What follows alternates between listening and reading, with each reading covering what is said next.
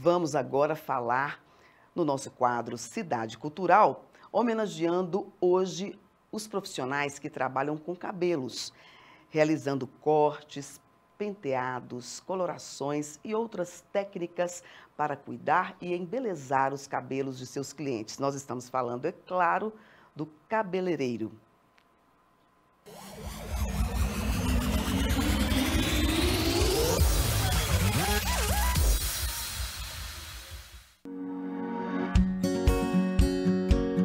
É uma oportunidade para mostrar apreço e reconhecimento pelos cabeleireiros e cabeleireiras, que desempenham um papel importante na indústria de beleza, ajudando as pessoas a se sentirem bem consigo mesmas e a expressarem sua individualidade por meio do cabelo.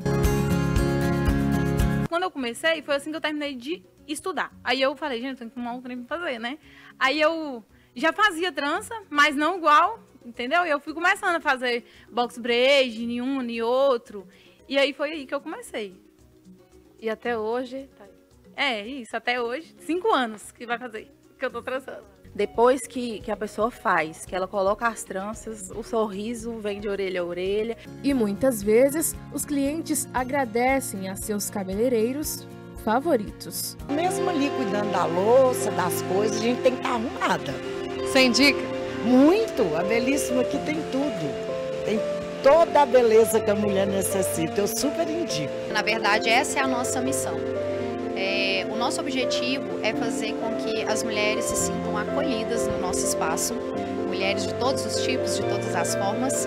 Né? A gente tenta valorizar a mulher na sua essência, né? a beleza na sua essência. Além disso, muitos salões de beleza, como o Salão Belíssima, oferecem descontos em serviços de cabelo para comemorar o Dia do Cabeleireiro. É uma ótima maneira de reconhecer o trabalho árduo e a habilidade desses profissionais. Divirta-se com a possibilidade que o seu cabelo te proporciona.